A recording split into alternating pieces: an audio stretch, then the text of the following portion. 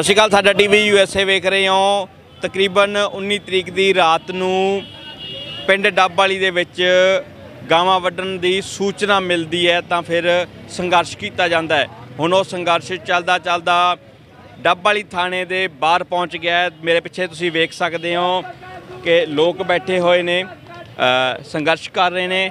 ਕੀ ਮਾਮਲਾ ਹੈ, ਕੀ ਹੈ ਸਾਰੀ ਕੁਝ ਇਸ ਤੇ ਵਿਚਾਰ ਚਰਚਾ ਕਰਾਂਗੇ। ਪਿੰਡ ਦੇ ਸਰਪੰਚ ਸਾਡੇ ਨਾਲ ਮੌਜੂਦ ਰਹਿਣਗੇ।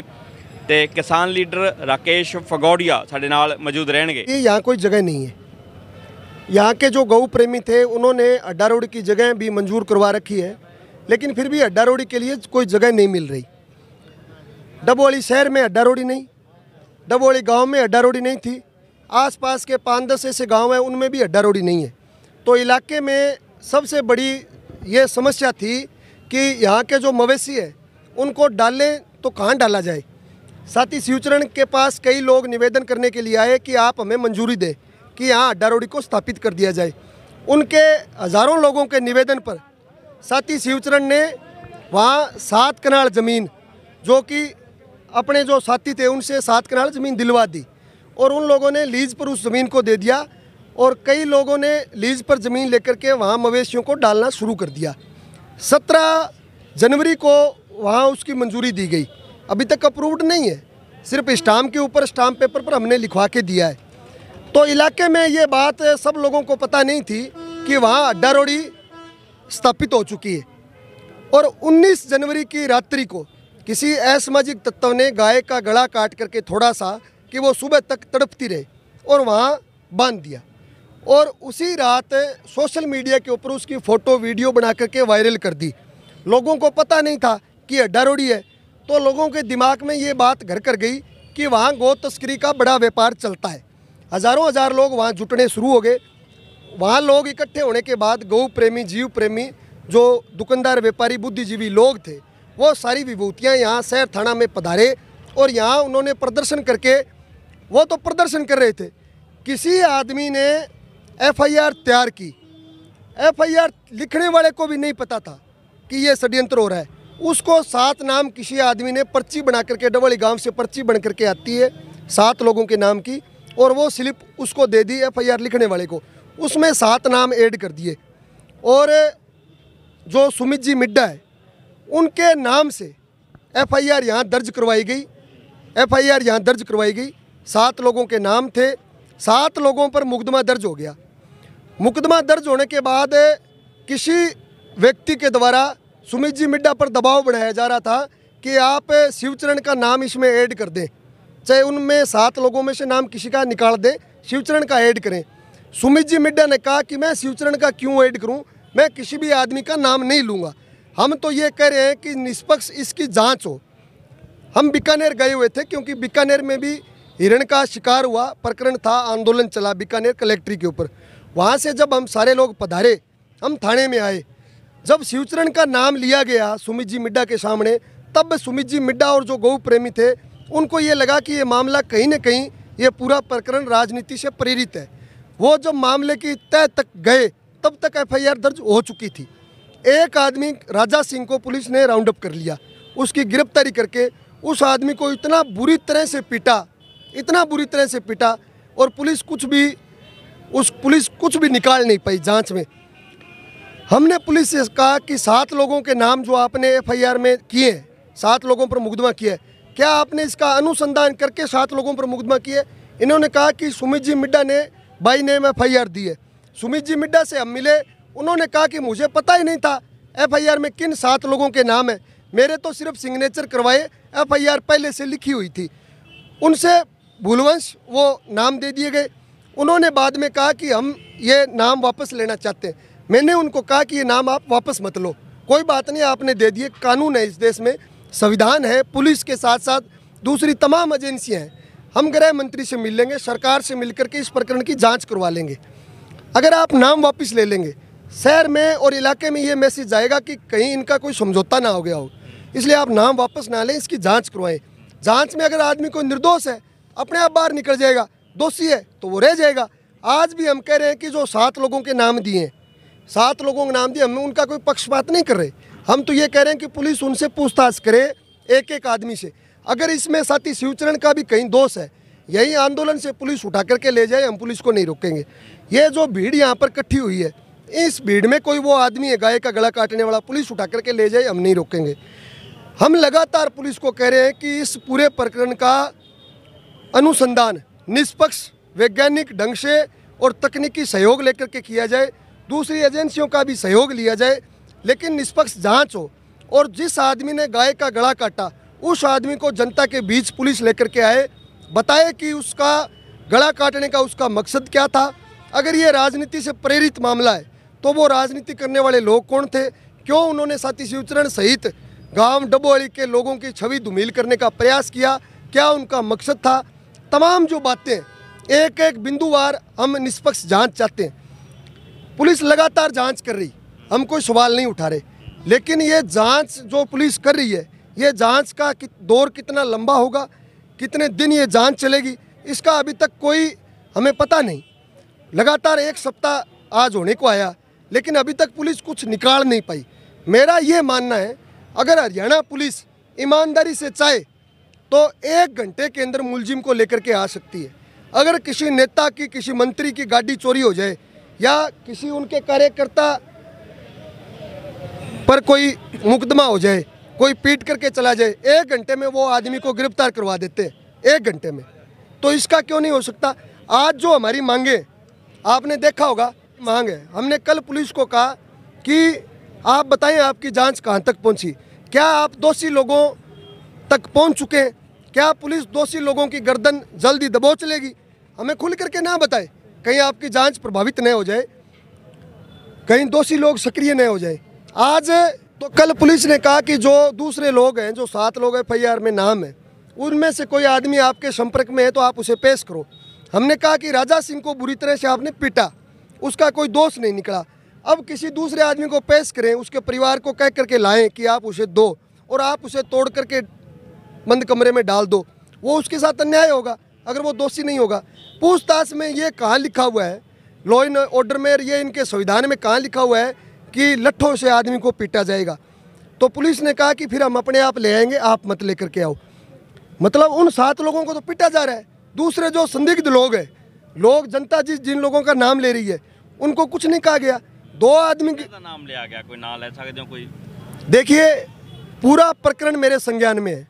लेकिन मैं नाम इसलिए नहीं ले रहा कि पुलिस और लोग सरकार में बैठे लोग हो चाहे चाहे जनता हो ये ना कह दे कि ये राजनीति कर रहे हैं और ये किसी पर दोषारोपण करना चाहते हैं आरोप प्रत्यारोप करना चाहते हैं इसलिए मैं नाम नहीं लेना चाहता ਲਗੇ ਲਗੇ ਜੀ ਜਦੋਂ ਅ, ਜਾਂਚ ਹੈ ਜਿਹੜੀ ਉਹ ਚੱਲ ਰਹੀ ਹੈ ਫਿਰ ਅੱਜ ਇੱਥੇ ਬਹਿਣ ਦੀ ਕੀ ਲੋੜ ਪੈ ਗਈ ਕਿ ਲੋਕ ਇੱਥੇ ਆ ਕੇ ਬਹਿਣਗੇ ਕੀ ਲੋੜ ਪੈ ਗਈ ਬਹਿਣ ਦੀ ਲੋੜ ਆ ਪੈਗੀ ਬਾਈ ਜੀ ਵੀ ਜਿਹੜਾ ਰਾਜਾ ਸਿੰਘ ਨੂੰ ਜਦੋਂ ਫੜਿਆ ਗਿਆ ਉਹਦੇ ਨਾਲ ਇੱਕ ਬੰਦਾ ਹੋਰ ਵੀ ਫੜਿਆ ਗਿਆ ਸੀ ਸੁਮਿਤ ਜੀ ਮਿੱਡਾ ਉੱਥੇ ਮੌਜੂਦ ਸੀਗੇ ਤੇ ਸੁਮਿਤ ਜੀ ਮਿੱਡਾ ਦੇ ਸਾਹਮਣੇ ਉਹਦੀ ਕੁੱਟਮਾਰ ਕੀਤੀ ਗਈ ਵੀ ਸਿਰਫ ਰਾਜਾ ਸਿੰਘ ਨੂੰ ਪਿੱਟਾ ਗਿਆ ਦੂਜਾ ਜਿਹੜਾ ਬੰਦਾ ਸੀ ਉਹਨੂੰ ਹੱਥ ਨਹੀਂ ਲਾਇਆ ਗਿਆ ਰਾਜਾ ਸਿੰਘ ਨੂੰ ਜੇ 100% ਪਿੱਟਾ ਦੂਜੇ ਬੰਦੇ ਨੂੰ 1% ਪਿੱਟਾ मतलब पुलिस एक तरफ तो मुलजिमों को पीट रही है और जो संदिग्ध लोग हैं उनसे पूछताछ भी नहीं कर रही ਦੂਜਾ ਬੰਦਾ ਕਿਹੜਾ ਸੀਗਾ ਨਾਂ ਦੱਸੋਗੇ गुरमीत सिंह को ये आदमी बता रहे हैं ये उसको कुछ नहीं कहा गया हमारी कोई गुरमीत सिंह के साथ कोई दुश्मनी नहीं है ਨਹੀਂ लेकिन ਪੁਲਿਸ ਨਾਲ ਗੱਲਬਾਤ ਹੋਈ ਕਿ ਜਦੋਂ ਦੋ ਬੰਦੇ ਪੁਲਿਸ ਚੱਕਦੀ ਹੈ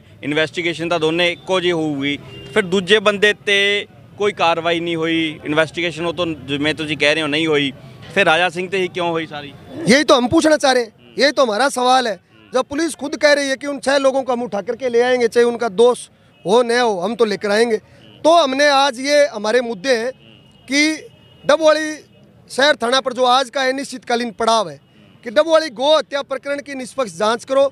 निम्नलिखित बिंदुओं को ध्यान में रखते हुए इस प्रकरण की जाँच की जाए। नंबर एक, गोकशी प्रकरण का अनुसंधान वैज्ञानिक ढंग से तकनीकी सहयोग लेकर किया जाए। नंबर दो, घटनास्थल पर मोबाइल डंप उठाए जाए। नंबर तीन, जिन लोगों के एफआईआर में नाम है, जो सात लोग हैं, उनकी भी कॉल डिटेल निकाली जाए, ताकि निष्पक्ष पता चल सके। अगला जो नंबर चार, जिन नंबरों से घटना के बारे में प्राथमिक सूचना दी गई उनकी कॉल डिटेल निकाली जाए, उस आदमी को कैसे पता चला कि यहाँ पर गाय को काटा गया? अगला जो पांचवा, उन सभी पॉइंट्स एवं उक्त सभी मुद्दों को तफ्तीश में शामिल किया जाए। छः नंबर, गोकशी की घटना अगर राजनीति से प्रेरित है तो निष्पक्ष जाँच कर उन लोगों के नाम सार्वजनिक किया जाए। सातवां जो है, अगर वह लोग इलाके में सांप्रदायिक स्वार्थ बिगाड़ना चाहते थे तो उन लोगों पर सख्त कानूनी कार्रवाई की जाए। आठवां जो है, पुलिस ने बिना जाँच सात लोगों पर मुकदमा दर्ज क्यों किया? बिना जाँच किसी आदमी पर मुकदमा दर्ज क्यों करेंगे आप? पहले तफ्तीश मतलब थोड़ा बहुत इनके सूत्रों से थोड़ा बहुत पता लगे संदिग्ध लगे तो मुकदमा दर्ज कर दो आप। भाई वो लोग निर्दोष हैं। भाई ये कह रहे हैं सात लोग इकट्ठे थे। सात लोग मिलकर के वहाँ गाय काट रहे थे। गंगा सिंह काट रहा था राजा सिंह ने गाय को पकड़ रखा था। तो अगर राजा सिंह ने पकड़ रखा था राजा सिंह को आपने पीट लिया आप उसे और पीट लो भाई। हम आपको पीटने के जो संसाधन होते हैं, उपलब्ध करवा देते हैं, आपके पास कमी है तो पुलिस के पास। राजा सिंह को पीट लो लेकिन उससे फिर ये कलवाओ ना तुम कि गंगा सिंह गाय का गला काट रहा था। वो वो वो आर में ये लिखा हुआ है एफ़ आई आर में ये लिखा हुआ है कि सात लोगों, लोग वहाँ मौजूद थे गौ प्रेमी वहाँ गए, लेकिन वो एफ़ आई आर लिखने वाले गौ प्रेमी नहीं थे। एफ़ आई आर लिखने वाला कोई और आदमी था। जो लिख रहा था, उसको भी बेचारे को ये नहीं पता था कि ये सात लोग गाय काट रहे थे या नहीं काट रहे थे। वो जो एफ़ आई जिसने लिखी है, मैं बता देता हूँ, मुकेश जी एडवोकेट बड़े अच्छे इंसान है वो।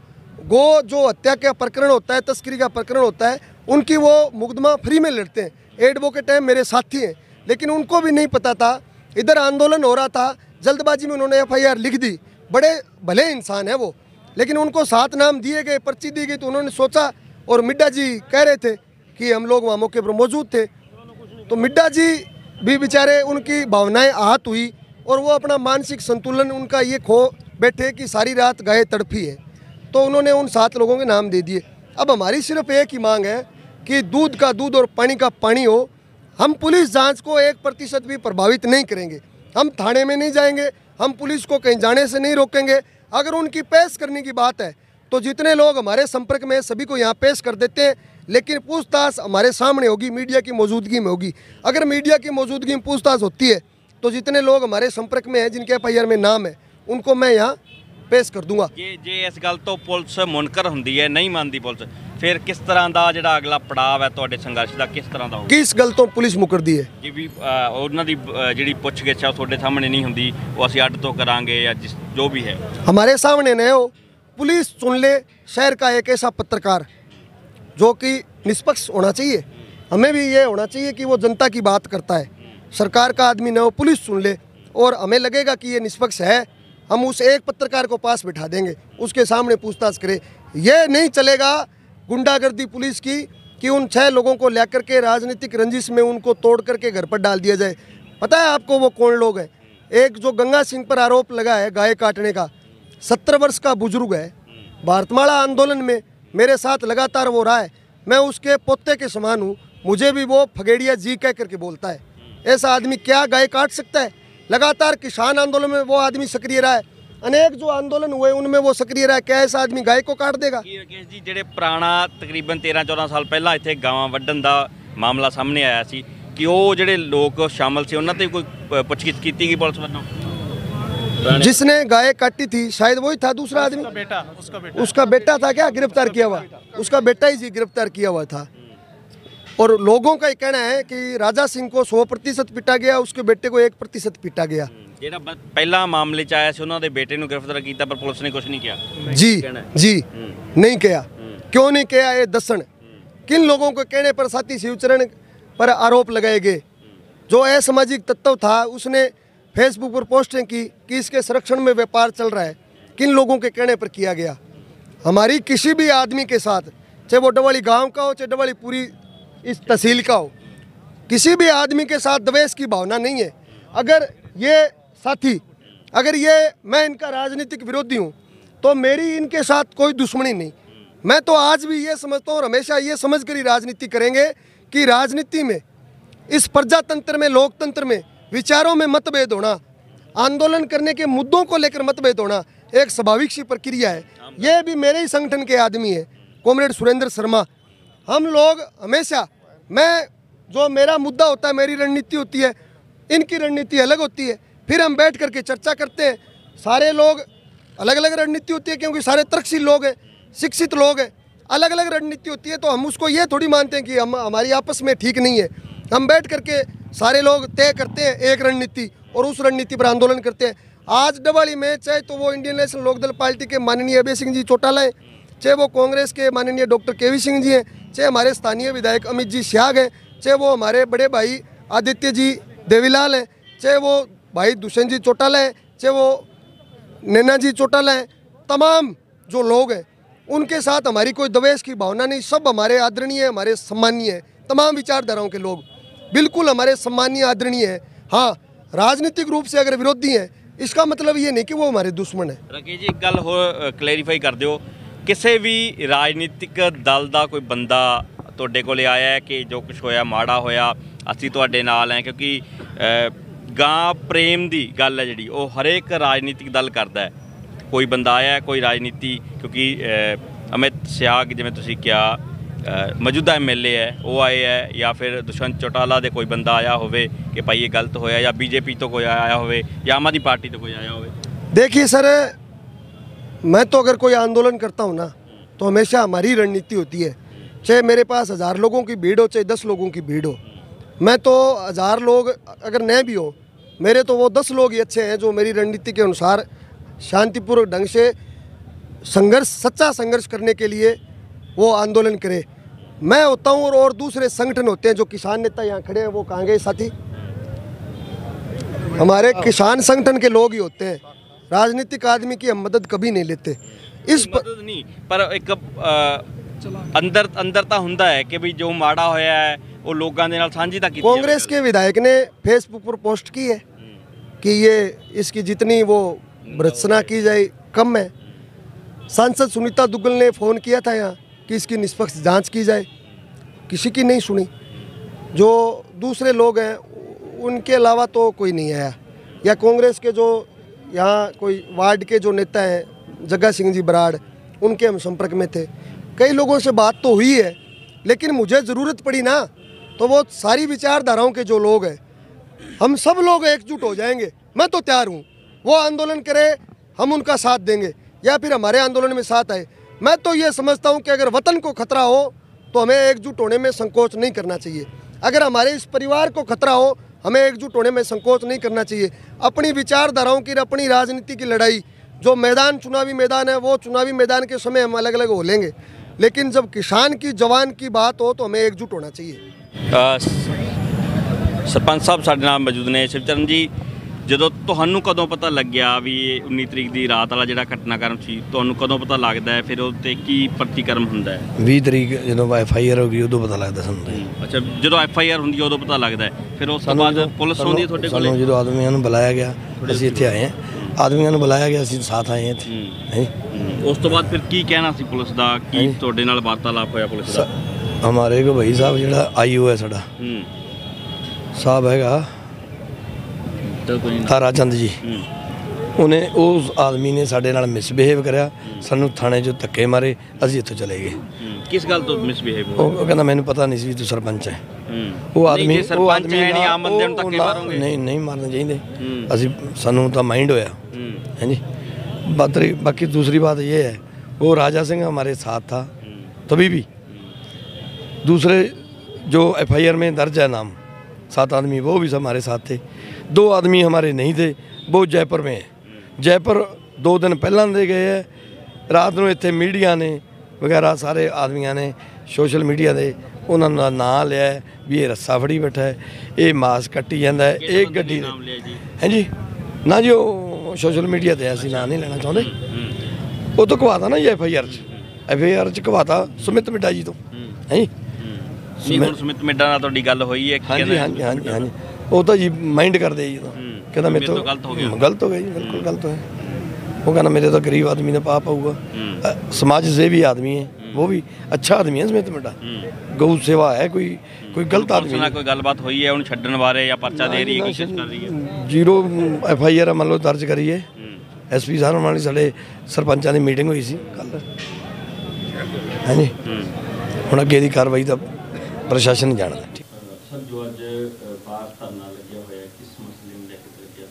ये 20 तारीख को है रात को 19-20 की रात को ये कोई एक जी, जीवित गाय के साथ कोई निर्दयता से उसकी गले पे वो छुरा चलाया हुआ था तो कोई और उस, उसके बारे में एक आडा कोड़ी है जो गाँव की पंचायत ने ठेके पे दी हुई है पाँच छः आदमियों ने दे रखी है और एक राजा सिंह है उसने मलोटका के पास रहने वाला है उसने ली हुई है।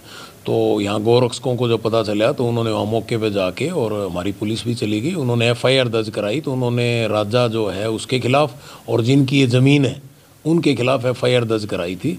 तो उस संबंध में हमें सच्चाई निकालने के लिए कार डिटेल, लोकेशन, डंप वगैरह हम मॉडर्न तरीके से सभी तरह जाँच कर रहे हैं और रोज़ाना इनसे पूछताछ कर रहे हैं। तो अब बाकियों से तो होगी और जो पाँच ज़मीन जिनके नाम है, जो गाँव अबू इसके रहने वाले डबवाड़ी के, जिनके नाम ज़मीन है जिन्होंने ये ज़मीन दी है, उनको बुलाया था क्योंकि उनके खिलाफ by name F I R है पूछताछ के लिए। तो पंचायत ने जो गाँव के मौजूदा सरपंच है, उन्होंने उनको आने नहीं दिया तो पुलिस ने उनको बुलाया तो इसलिए इस बात पे धरना दे दिया, अब इनको क्यों बुला रहे हो? तो आप भी जानते हैं कि जब अगर एफ़ आई आर में नाम आ गया, और ये बड़ा गो तस्करी का बड़ा ऐसा ही मामला होता है तो इसमें हम नहीं चाहते कोई गलत गिरफ़्तार हो, हम चाहते हैं सच्चाई निकाल के हो। और इस संबंध में हमने गो तस्करों की और शहर के मोजीज व्यक्तियों की कमेटी बनाई हुई है। उस कमेटी के आगे पूछताछ करते हैं हर बार। तो औरों को भी जो भी संदिग्ध है उनसे पूछताछ जारी है और इनसे इनको भी पूछताछ के लिए बुलाया था आज। भाई कमेटी के सामने थाने में पूछताछ की जाएगी। हाँ जी आज बुलाए थे कल भी बुलाए थे कल ये नहीं आए आज फिर बुलाए थे तो इन्होंने गाँव की पंचायत ने इसमें गाँव के लोगों ने फिर इस इस बात पे ही धरना लगा दिया भी क्यों बुला रहे हो? तो ये तो एफआईआर दर्ज है और ये बड़ा संगीन मामला है। इसको हम मानव हत्या से भी ज़्यादा बड़ा जुर्म मानते हैं। तो इसमें सच्चाई निकालने के लिए जिनके नाम एफ़ आई आर में उनको बुलाना पुलिस का अधिकार है। इन्वेस्टिगेशन उन्हीं से की जा सकती है। तो उसके लिए बुलाए थे तो इन्होंने ये गलत ढंग से लगाया है, जो कि ये गैरकानूनी है ਸਰ ਇੱਕ ਰਾਜਾ ਸਿੰਘ ਜਿਹੜਾ ਤੁਹਾਡੇ ਕੋਲੇ ਹੈਗਾ ਉਹ ਇਹ ਪਰਚਾ ਦੇ ਰਹੇ ਹੋ नहीं राजा सिंह के खिलाफ एफआईआर है और जो ये लोग बैठे हैं इसमें भी पांच छह गांव वालों के खिलाफ है वो गो गोरक्षकों ने करा रखी है तो हम अभी किसी को अरेस्ट नहीं कर रहे सिर्फ पूछताछ के लिए बुलाते हैं फिर उसको छोड़ देते हैं अगर अब उसको हर तरीके से पूछताछ कर रहे हैं अगर सच्चा होगा तो अरेस्ट करेंगे ਕੋਈ ਹੋਰ ਵੀ ਸਰ ਜਿਹੜੇ ਪਹਿਲੂ ਆ ਖੰਗਾਲੇ ਜਾ ਰਹੇ ਆ ਜਿਹੜੇ नहीं नहीं, और पुराने से लेके हर प्रकार के जो अनजदीक ढाणी है, उनको भी शामिल जाँच किया जा रहा है। इसके अलावा जो अन्य आड्डा कोड़ी जिनके पास ठेका ले रखे है और कहीं, उनको भी हम बुला के शामिल जाँच कर रहे हैं, या जो इस तरह की वारदातों में पहले रेड हैं, उनको भी हम शामिल जाँच कर रहे हैं और टेलीफोनिक रिकॉर्ड भी कलेक्ट कर रहे हैं। उसी संबंध में आज पूछताछ के लिए बुलाए थे इनको।